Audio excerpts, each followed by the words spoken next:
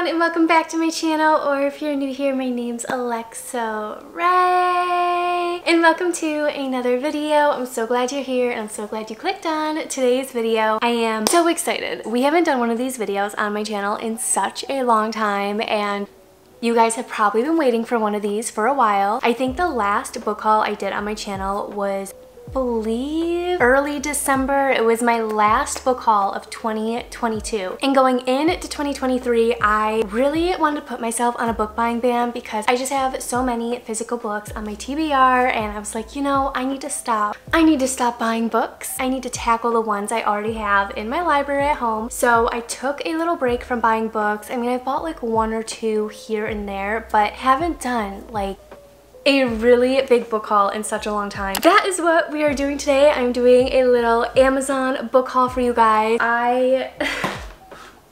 I already took all the books out of the boxes because I just couldn't help myself and they came over a span of like a week so every time I got box in the mail I try to not touch it but I couldn't help myself so I opened all the books and I have them all right here so excited to share them with you guys today. I picked up some amazing books that I have heard such incredible things about. A lot of them are books that you guys have recommended to me, that I've had friends recommend to me, book series that I've been dying to get my hands on. I picked up some incredible books and I'm going to be sharing them all with you in today's video. So I'm not going to keep you guys waiting too much longer. We are going to jump right into it and I also forgot to mention the main reason for me actually doing like this massive Amazon book haul is I'm planning on rearranging and redoing my bookshelves out in my living room. I wanted to get the rest of the books I had on like my wish list before I did that because I want to make sure I have room for every single book and like display them all cutesy. So that's another reason why I went and bought all these books. We are gonna hop right into it. I guess I'll start with this one because it's just like sitting in front of me. When I bought this, I didn't realize it was going to be this big chunker. So Binding 13, this is by Chloe Walsh and it's The Boys of Time Tommen, book one. Tommen, Tommen. You guys will have to let me know down below. I'm not quite sure. We have Binding 13. This is book one in the series. I have recently seen so many people rave about this book series and I've actually had a lot of people in my comments saying I should definitely check it out. Have to say, a little intimidated. This is a very chunky book for me and the pages are also like massive. I don't know if you guys can tell, but this is kind of a big book. So it's a bit intimidating, but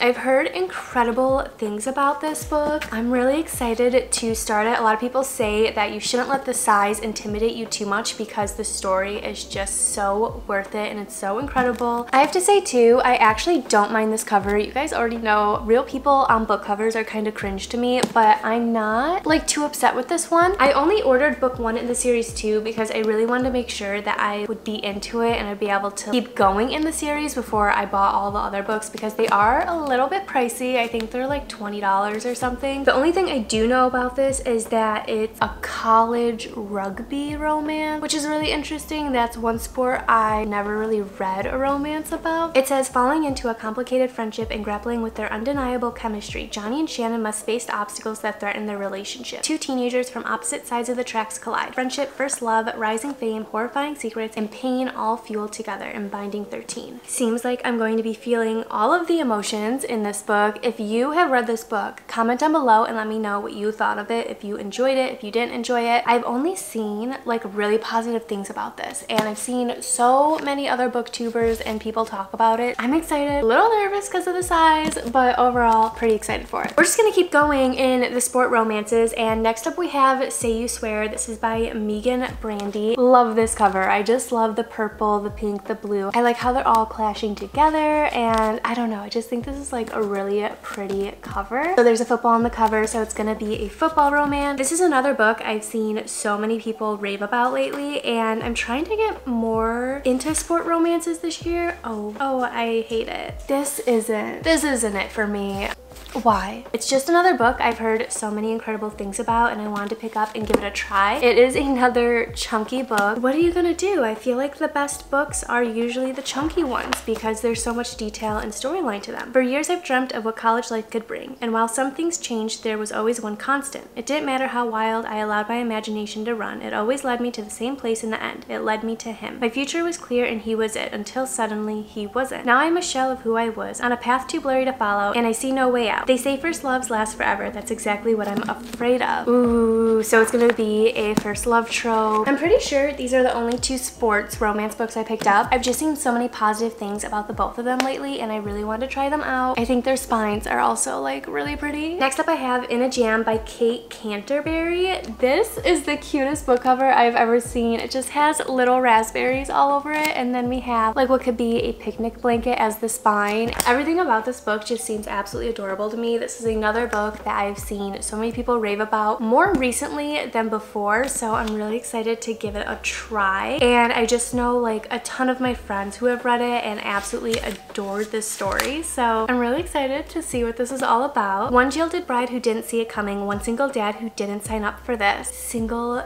dad trope? Okay. One year to get married or lose the family farm. When Shay's step-grandmother died, she left Shay a tulip farm under two conditions. First, Shay had to move home to the small town of Friendship, Rhode Island. Second, and most problematic since her fiance just called off the wedding, Shay must be married within one year. Marriage is the last thing in the world Shay wants, but she'll do anything to save the only real home she's ever known. Noah loved Shay back in high school. Not that he ever told her. He was too shy, too awkward, too painfully uncool to ask out the beautiful, popular girl. A lifetime later, Noah is a single dad to his niece and has his hands full running the family business. That old crush is the farthest thing from his mind until she returns to their hometown and turns his life upside down. This sounds absolutely adorable. I think this is gonna be like the perfect little read for spring too. It kind of gives me spring vibes. Next up I have My Dark Romeo. This was actually written by two authors. It says Parker S. Huntington and then LJ Shen. I actually had this recommended to me in my Amazon cart. I saw this and I was immediately drawn to the cover of it. I just thought it was so pretty.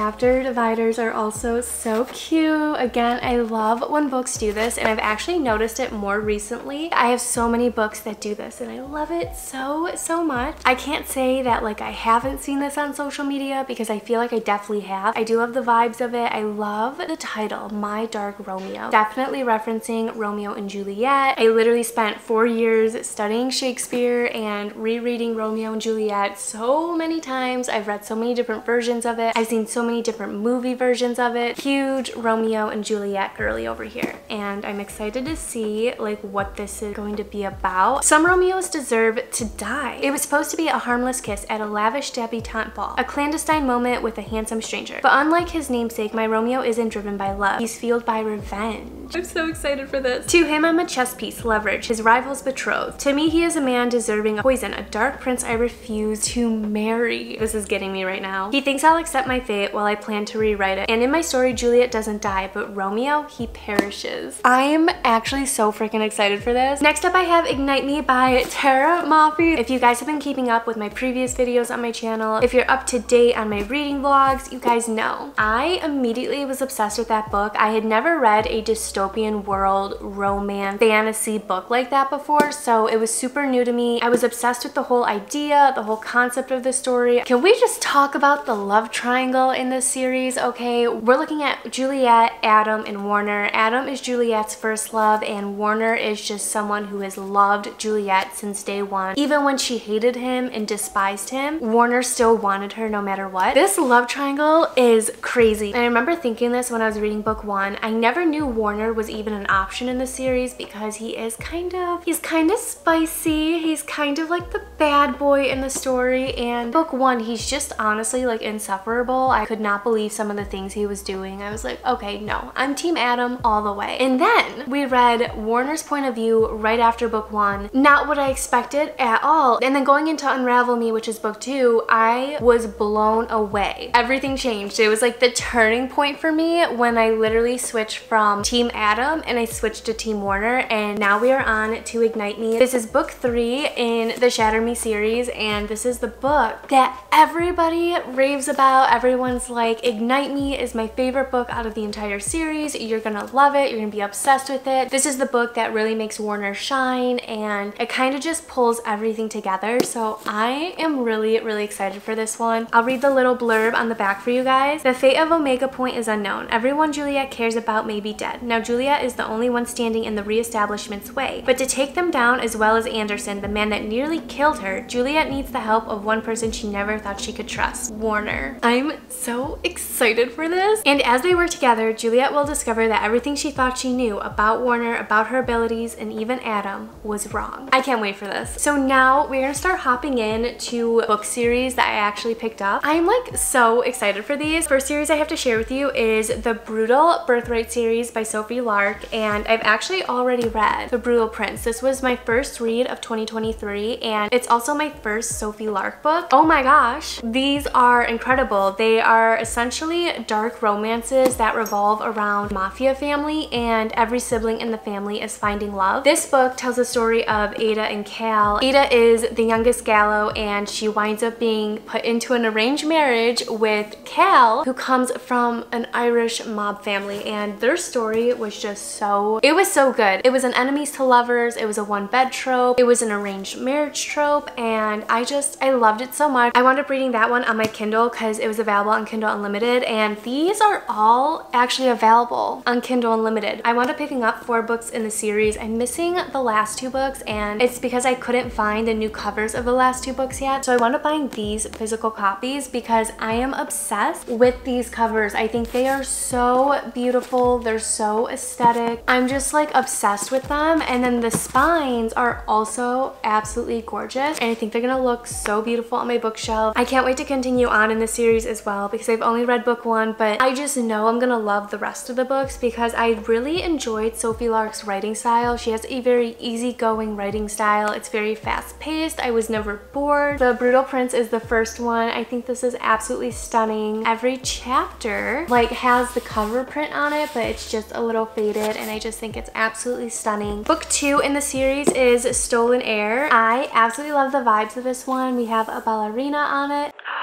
Stop. I'm actually so happy right now. I didn't know the books had these. So I also noticed when I was reading book one on my Kindle, every so often in between chapters, there would actually be a picture, an illustration of what was going on in the story so far. And the books actually have the illustrations in them as well. So that is really, really cool. I didn't know that was going to be a part of these. And that just made me so much more excited to read them. So this is gonna be the story of Nessa and Then we go on to Savage Lover. I am obsessed. Stop. I love this cover so much. This is going to tell the story of Camille and Nero Gallo. Oh my gosh, look at these chapters. They are so stunning. And then the last book I have of that series is Bloody Heart. This one tells the story of Simone and Dante. Oh, I'm so excited for Dante's story. I highly recommend Sophie Lark books if you're looking to get into dark romance because I feel like they're dark romances, but they're not like the darkest romances I've read. They're really easygoing and I think they're a really good intro into the genre. Also just gorgeous covers. I am absolutely obsessed with these. I cannot wait to have them on my bookshelf. The next two books I have are also part of a series. You guys already know what this series is. So I have Fuel the Fire and Long Way Down. These are by Krista and Becca Ritchie. These are a part of the Addicted to You and Calloway Sister series, but these are actually far down in the series. This is the recommended reading order for the series. It goes Addicted to You, Ricochet, Addicted for Now. I have all three of those books. And then we jump in to the Calloway Sister series, book one, which is Kiss the Sky. I actually did just buy that book like a few months ago from Barnes, but it's the version with the guy on the cover so like the real person and I really want this version but it's not available on Amazon yet. So, so I'm hoping I'm able to get my hands on that cover. And then after Kiss the Sky we go to Hot House Flower which is book two in the Calloway Sister series. I also didn't get that one because that cover is not available till June then we jump back into the addicted books. We go to Thrive, Addicted After All. Then we get into Fuel the Fire and Long Way Down. So I picked these books up because I'm nervous they're gonna go out of stock soon. And I love these covers so much. They are absolutely gorgeous. I really just want to collect the entire series with these covers. I think they're just so beautiful. People are literally selling their copies for hundreds of dollars online. I'm just gonna try and be patient and wait until they become in stock again. If you're not familiar with this series, I did a reading vlog for book one and book two. They're already on my channel. And then I'm currently reading book three in the series, which is Addicted for Now. Fuel the Fire is Rose and Connor, and then Long Way Down is Ryke and Daisy. Kiss the Sky and Hot House Flower is also like their stories. These are their stories after those books. Yeah, decided to pick them up. I'm also just so excited to jump into the Calloway Sister series. So many people rave about Rose and Connor. They rave about Daisy and Ryke, and I just cannot wait to finally read their stories because I love Lily and Lo. I'm just really excited for the enemies to lovers trope between Connor and Rose, and then Daisy and Ryke just seem like the cutest, most adventurous couple. Last but not least, we have the final book series I picked up. I'm also missing a book out of this series because it wasn't yet available, so hopefully I can get my hands on it soon. This book series is a series that has been so highly recommended to me on my channel for probably over a year now, and I recently read the Chestnut Spring series, and I rave about that series. It's one of my favorite book series I've read so far this year. I'm obsessed with that series. I'm obsessed with the characters, the world. I just want to live in those books. So in the comments under that video, a lot of you had recommended The Edens to me, and a lot of you said that this book series gives off like the same type of vibe. I decided to take a chance and I ordered the first four books in the series. I'm very, very excited about it. I do think the covers of these books are also gorgeous in my opinion. I love the different colors and I think the spines are also really cool. I don't know too much about this series. I just know that you guys said, oh, it has similar vibes to the Chestnut Spring series. You should read it. So I was like, oh. The first book is Indigo Ridge. I love the aesthetic. Like I know I say I don't like real people on the covers of books, but this is kind of a vibe. Winslow Covington believes in life, liberty, and the letter of the law. As Quincy, Montana's new chief of police, she's determined to prove herself to the community and show them she didn't earn her position because her grandfather is the mayor. According to her pops, all she has to do is earn favor with the Edens. But winning over the town's founding family might have been easier if not for her one-night stand with their oldest son. In her defense, it was her first night in town and she didn't realize that the rugged and charming man who wooed her into bed was Quincy royalty. Sleeping with Griffin Eden was a huge mistake, the one she's trying to forget. He's insufferable, arrogant, and keeps reminding everyone that she's an outsider. Winslow does her best to avoid Griffin, but when a woman is found dead on Eden property, the two of them have no choice but to cross paths. As clues to the murder lead to one of Quincy's own, Griffin realizes Winslow is more than he gave her credit for. Beautiful and intelligent, she proves hard to resist for him and the killer. I don't actually know if they are mystery thriller romances, but that's kind of spooky. There's a dead body found on Eden property, and it seems like the whole book kind of revolves around her trying to figure out what happened. But also her and Griffin are like butting heads. That's really interesting. Did not see that coming. Next up we have Juniper Hill. I love this green color. It's so cool. Memphis Ward arrives in Quincy, Montana on the fifth worst day of her life. She needs a shower, she needs a snack, she needs some sanity because moving across the country with her newborn baby is by far the craziest thing she's ever done. But maybe it takes a little crazy to build a good life. If putting the past behind her requires a thousand miles in a new town, she'll do it if it means a better future for her son, even if it requires setting aside the glamour of her former life, even if it requires working as a housekeeper at the Eloise Inn and living in an apartment above the garage. It's there on the fifth worst day of her life that she meets the handsomest man she's ever laid eyes on. the handsomest man. Knox Eden is a beautiful, sinful dream, a chef and her temporary landlord. With his sharp stubble jaw and tattooed arms, he's raw and rugged and everything she's never had and never will. Because after the first worst day of her life, Memphis learned a good life requires giving up on her dreams too. And a man like Knox Eden will only ever be a dream. I love that he's a chef and that he has tattoos. So next up we have Garnet Flats. Talia Eden loved Foster Madden for one year, two months, and 11 days. It was on day 438 that her love died. The day he chose to marry her best friend, the day she vowed never to think of Foster again.